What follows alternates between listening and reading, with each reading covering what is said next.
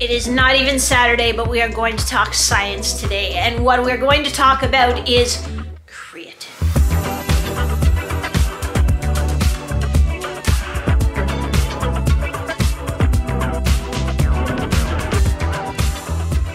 happens each and every hockey off season, I've had a lot of questions about creatine. And because my buddy at the gym took creatine and he gained uh, six pounds of muscle in a week and he feels amazing and you know you've been there and and and I want it too. Uh, so I'm glad that people ask because it means that they at least are like, hmm, is this going to be helpful or harmful? Is this something I should take or shouldn't take? So I'm going to explain to you, first of all, how it works. It isn't a stimulant. So when your uh, you know, buddy takes it in his pre-workout shake and is like, oh, I've got so much energy. Either it's a placebo, which is fine, or there's something else in that pre-workout shake that maybe shouldn't be in that pre-workout shake that's giving him that feeling. But let's break down how exactly creatine works. Be prepared to be either fascinated or bored, depending on whether you are a physiology geek or not. Let's start with a little bit of muscle physiology. When I was in grad school, I took an entire course on skeletal muscle and how it works. And when we got to the end of it, they were like, and then this happens and we don't really know why and that was it. it was like, are you? Are you kidding? It's like that movie, The Bridge to Terabithia. If you haven't seen it yet, spoiler alert. anyway, you think you're just watching a nice happy kids movie and then you're like, what just happened? So anyway, uh, so this might be upsetting to some of you because we're going to cover a little bit of that part. But this is, uh, this is a myofibril. So Z line to Z line is a myofibril. So this is like, I got out my electron microscope and I zoomed in and this is like, I have a very good electron microscope and I took this picture of a myofibril. So this is like, you've got your muscle fiber, you've got your fascicles, you've got, in your fascicles are all little myofibrils. This would be your actin filaments. Uh, this is an actin filament. This would be your myosin. Myosin is thicker. These will be your Z lines. This person's done a little bit of a workout lately because they got some delayed onset muscle soreness because Z lines under like electron microscope will, will sort of be um, blurred a little bit, a little disrupted uh, when you have delayed onset muscle soreness, when you have a little micro trauma. But so these are the two filaments. And then on the myosin, there are these myosin cross bridges and they're kind of like a like a globular head that bonds to the actin. And then when our muscle contracts, it, they go, and that's what, you know, that's what brings, you know, there'd be another actin filament down here, you know, and that's what sort of shortens your muscle and makes your muscle contract. Um, now there'd be more than two. so this isn't exactly anatomically, physiologically exactly right, but uh, you get the idea. So these are on the myosin, they grab onto the actin, they go, and that's how your muscle contracts. So then, okay, that's great, but actually if we want to do more work, we have to disconnect, swivel again, grab another bonding site and, and swivel again to sort of keep going. Otherwise, we're stuck. Fun fact, um, if you get tetanus, this is why it's so important to get your tetanus shots. Get your tetanus shots. Um, if you get tetanus shot, you basically die of like lockjaw of, of tetany. Um, so all your muscles contract. If you've ever seen a picture of someone who's died from tetanus, freaky, really freaky. But what happens is those get bonded and they can't undo. So all of your muscles in your whole body get in a contracted state and you actually literally die. Get your tetanus shot. so how do we how do we not end up like that? Because that does not sound very cool.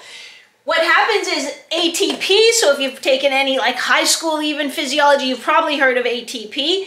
ATP is sort of what, you know that it's sort of the energy molecule of the muscle, but, but you don't really know how it works, do you? Do you? Well, an ATP, so adenosine triphosphate, as the name implies, it's an adenosine molecule with three phosphates. What it does is it cleaves off one of these phosphates it donates it here. It binds somewhere in this globular head thingamaboober. I can't exactly remember which side it bonds on, but it bonds on that. It lets this get released so that it can do more muscle action. So that's all ATP does. Like I thought it would be like, then there's a little mini explosion and it's like, no, it just helps it release. Um, this is where, this is where in our course it's like, and then it swivels and we don't really know why. All right, good. That was thousands of dollars well spent, but it was a fascinating course. It was really fun. So that's what ATP does. So when it does that, when it donates that phosphate, it becomes ADP, an adenosine with two phosphates and a frowny face attached, where the other phosphate used to be. Maybe not a frowny face, but let's just picture it like that. So here's where uh, creatine comes in. So we consume creatine. Creatine bonds a phosphate to make what's called phosphocreatine. Isn't science fun in that it makes a lot of sense, like science should. So, uh, and, and it is in your muscle cell. So ADP is like frowny face. Oh, if only I had another phosphate, then I could do more work. And phosphocreatine comes on, I was like, dude, I got an extra phosphate, right? I don't know, I don't even know where it came from. Just been following me around. I didn't ask what, like we're not friends or anything. So it's like, I will take that. So then this phosphate creatine donates its phosphate, boom, boom.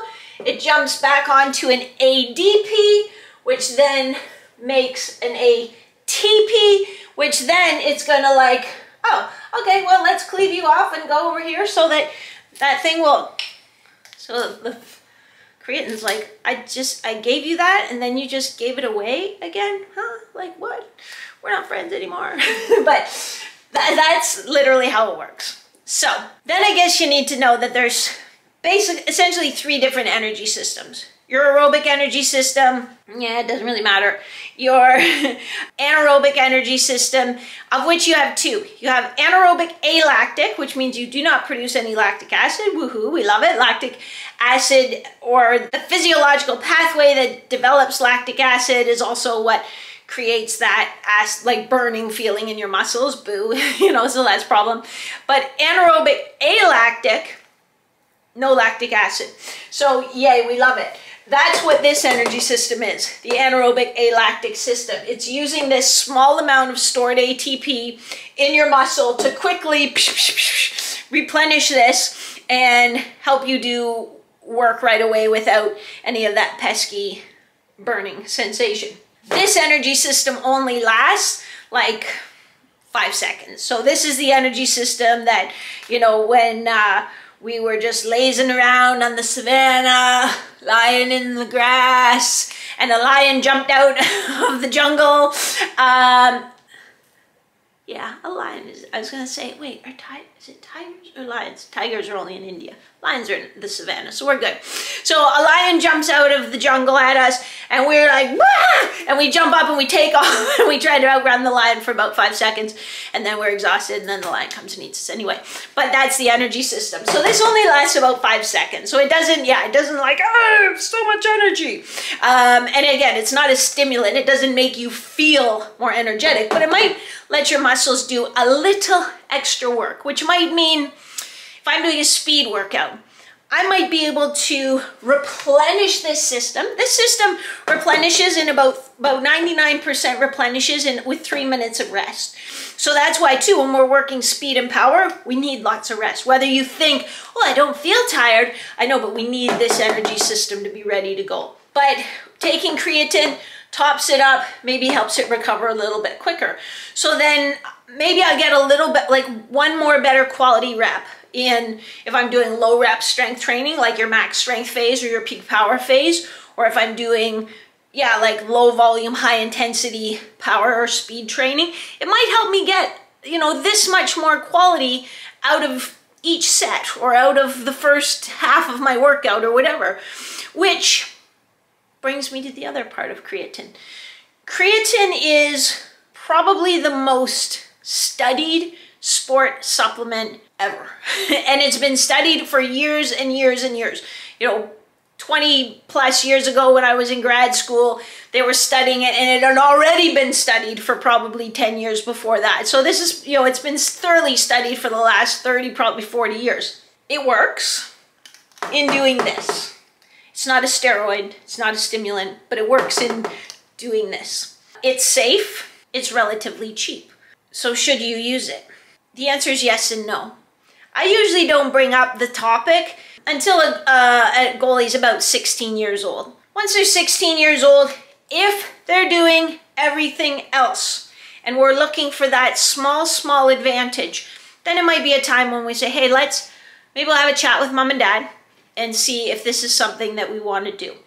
Uh, you can get creatine naturally. If you eat red meat, you are getting creatine. You probably are not creatine deficient and your body won't overload creatine. So it's not like the more creatine you eat, the more phosphocreatine is in your muscles. It doesn't work that way. Your body has a thing called homeostasis, which means I like to be at this level and that's where I like to be. So you're not gonna overload this system.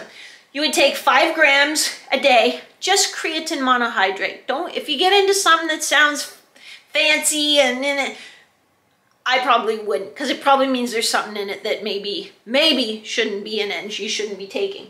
But five grams a day of creatine monohydrate. If you regularly eat red meat as part of your diet and you're not insufficient in any way, you're gonna pee that back out down the toilet. So worst case, you're gonna pee away your hard-earned money.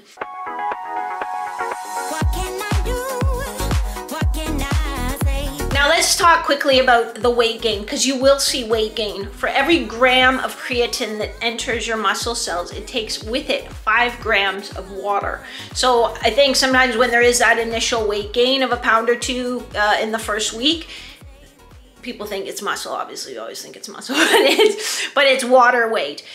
I'll also mention uh, that there is some anecdotal reports. So that means it's not been proven by science, but people have said like, hey, when I took creatine, uh, I strained my hamstring or my hip flexor. There's anecdotal reports of increased risk of muscle strains when people are taking creatine. Um, it hasn't really been my experience. I, have had one athlete, they, they were away, they were at college training, um, and they were using creatine and they strained their hamstring. So it's a little hard to say because I'm not sure exactly what they were doing. They were like training with their team. But the goal, they're, you know, and even the athletes that I trained at Revolution, when they were in the gym with me all the time, I, I knock on wood, haven't had any, any of those happen with the athletes I'm directly supervising. But it is something to consider and it does make sense. Like if I'm taking in five more grams of water into a muscle, now it's not gonna be like one mus you know, one muscle necessarily, but if I'm adding more fluid to my muscle tissue, that, that it's like a balloon, right? It gets a little bit stiffer. The amount of water isn't really that much, but it, you know, it kind of makes sense. Like, it's like, yeah, I, I could see how that could happen. So there is uh, something that you want to kind of weigh in terms of risk reward before you decide. And I probably would suggest, you know, make sure you're drinking enough water, which you should be anyway. The biggest, the most beneficial ergogenic aid, so performance enhancing substance, is actually water. Being hydrated is the number one thing you can do to improve your performance. So Put that in your pipe and smoke it. So again, should you take it? If you are, so here's a little quiz for you, and if you answer no to any of these questions, then the answer is no, you shouldn't take creatine.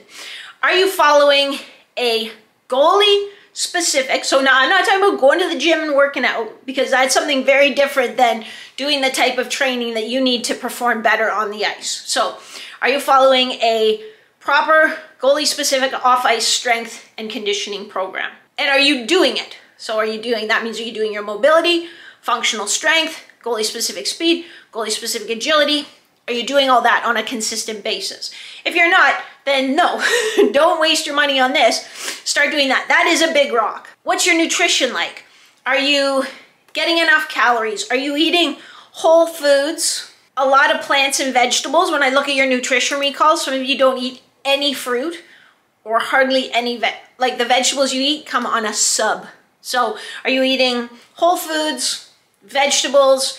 Um, are you getting a lean protein, a healthy fat, and uh, a healthy carbohydrate with each meal? Are you eating breakfast? If you're, especially if you're a younger goalie, if you're an, if you're an adult goalie and you're trying to lose weight or whatever, and you have different ways of eating, that's maybe a bit of a different issue. But if you're a young goalie who's trying to gain some muscle and some strength, then you should be definitely eating breakfast. Are you getting sufficient sleep? Everybody's different in how much sleep they need, but are you getting at least seven to nine hours of sleep? most nights. I know that sometimes on the weekend we like to go out and do the party hardy. I was young once. I vaguely remember what it was like. Uh, to be young. So that's why I'm to say most nights. So, you know, five, let's say five days of the week, maybe let her rip a bit on the weekend. Yeah, and that leads me to another thing. Like, are you crushing booze on the weekend? If you're crushing booze on the weekend, start with not crushing booze on the weekend before you start trying to take supplement to make yourself better. I think those are the those are the big rocks. So are you doing those three big things? If yes, okay, then let's, you know, those are those are like big things. This is a little advantage. But if you're doing all those other things, you're doing them consistently, yeah, okay. Now let's start looking at the little advantages. You know, same goes something like, well, should I use a cold tub? Should I use a warm tub? Should I, for my muscle development? It's like, are you doing proper workouts? Are you getting proper nutrition? Are you getting enough sleep? Our muscles get bigger when we're sleeping, not when we're in the gym. When we're in the gym, we're actually causing some micro trauma to those muscles. When we sleep and when we have the proper nu nutrients and building blocks in our body, then our, and that's not like a Nature Valley granola bar, even though it says it's from Nature Valley, I don't think Nature Valley's so natural. So, you know, if we're putting in the right building blocks, we go to sleep, and then our body, like, inside, we spring to life. And it's like, okay, let's repair all this. Let's get this ready to go. So tomorrow Maria can go to the gym and crush it again. That's what you need. This was fun. Question for you. Let me know if you want me to bring back the Science Saturday. We haven't done Science Saturday in a long time because I got a little busy. Welcome to your Science Saturday. Today we are talking about going for a long run. Because shouldn't we go for a long run if we want more stamina? Apparently you just run for an extended period of time. The answer would be a no, no, no you shouldn't. But if you really want me to bring back Science Saturday, or maybe we could just have a science segment every few weeks in a video, let me know. Drop a comment below. Let me know what you think about Science Saturday. Let me know what you think about the creatine. Not saying creatine's bad. Not saying you shouldn't take creatine. Creatine works. It's safe as far as we know to this point, but it's been studied over the last 30 plus years. It's relatively cost effective. Just get the plain old creatine monohydrate from like a reputable brand. Uh, if it says like animal monster stack rage, Don't get that one. Get the one with just the boring label that says creatine monohydrate on it. Uh, five grams, and don't let them upsell you at the health food, at the, you know, sports supplement store. Just get the basics. Five grams a day, you don't need to do a loading phase. You should have it with a rather higher glycemic carbohydrate so that it's gonna get absorbed into your tissues a little bit quicker. But Having said that, a lot of you don't need it because you're not moving any of the big rocks yet either. So I hope that helps. If you found that helpful or informative or, or like, but what, what do you mean they, we don't know what happens? What, I, I, I might have to go back to university. Maybe they know by now. Who knows? But hit me with a like. Any questions about this, hit me with a comment. If you haven't subscribed already, What's your problem? and if you haven't subscribed already, you might not know that if you hit the bell, you'll find out about new videos before anybody else. Go forth and conquer. I will see you next week. Same bat time, same bat channel.